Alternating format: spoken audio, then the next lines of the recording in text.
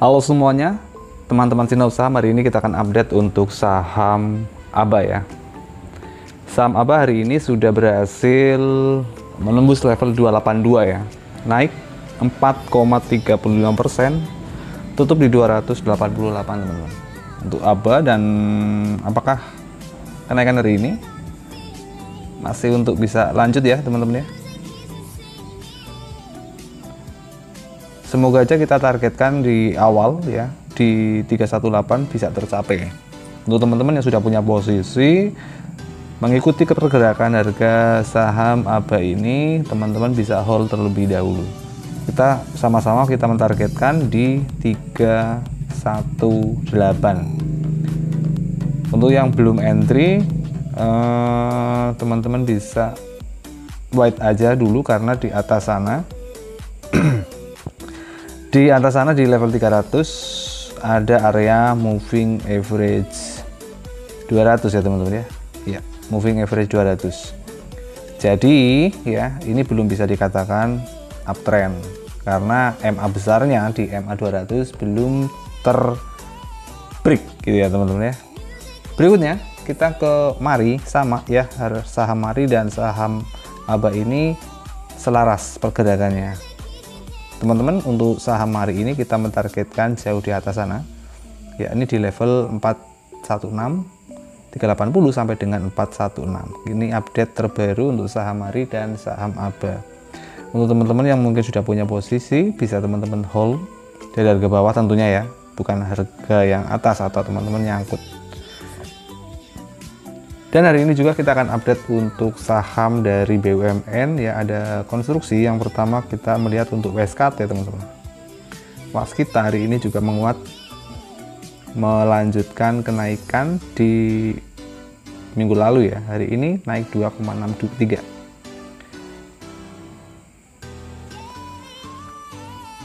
Kita belum punya posisi ya teman-teman ya untuk saham ini. Ini juga ada kalau kita garis di sini kan ada resisten nih. Misalnya kita tarik di sini.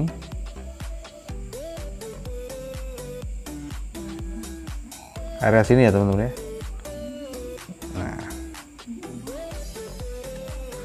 Dan tentunya kenaikan ini jika berlanjut kita bisa mengekspek untuk saham WSKT ini sampai di MA panjang lebih nyaman dan lebih rileks mungkin ya teman-teman ya. Nanti nunggu aja di area area tersebut. Jadi untuk saat ini hmm, meskipun teman-teman terlihat menarik untuk saham ini ya tadi ya segala risiko tetap kita perlu pertimbangkan. Dari indikator RSI teman-teman bisa lihat di sini ya kenaikannya juga nilainya 71 ya angkanya juga hmm, menarik juga. Tapi kembali ke teman-teman semuanya kalau mau spekulatif buy bisa nanti untuk level stop loss teman-teman taruh di bawah sini. Lumayan juga ya uh, resikonya. Ya kalau memang bisa diterima boleh. Tapi kalau misalnya eh, terlalu terlalu lebar misalnya ya wait aja. Dan selanjutnya kita ke Adi juga. Adi juga mengalami kenaikan ya teman-teman ya untuk adikarya konstruksi tapi biasanya konstruksi itu memang di samping lambat dia ya gitu deh trennya teman-teman sendiri tapi kalau udah naik ya udah naik terus. Adi hari ini naik tipis ya 1,90% tutup di 805 belum menarik banget sama kayak si WSKT nanti kita bisa pantau aja ya teman-teman ya antara WSKT dan Adikarya untuk level support karena ini juga masih di uh, katakanlah di 200 oh 200 sorry 700 ya. 720 seperti itu ya teman-teman ya. Dan terakhir kita ke friend. Saham telekomunikasi teman-teman friend. Ini dia friend kita mentargetkan. Ini dia target-target untuk kenaikan saham friend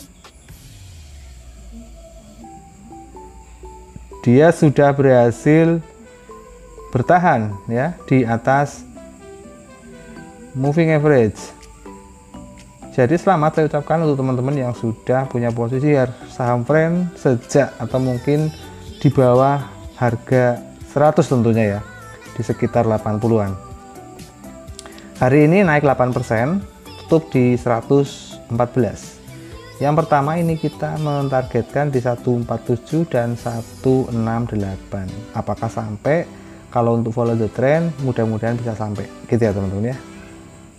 Demikian teman-teman update terbaru untuk uh, dari sini saham untuk mengawali perdagangan di awal pekan ya di 15 Agustus 2022 tetap semangat teman-teman. Selamat belajar happy trading dan jaga kesehatan selalu teman-teman. Terima kasih untuk semuanya yang sudah support channel Sinau Saham. Selamat beristirahat. Thank you dan bye bye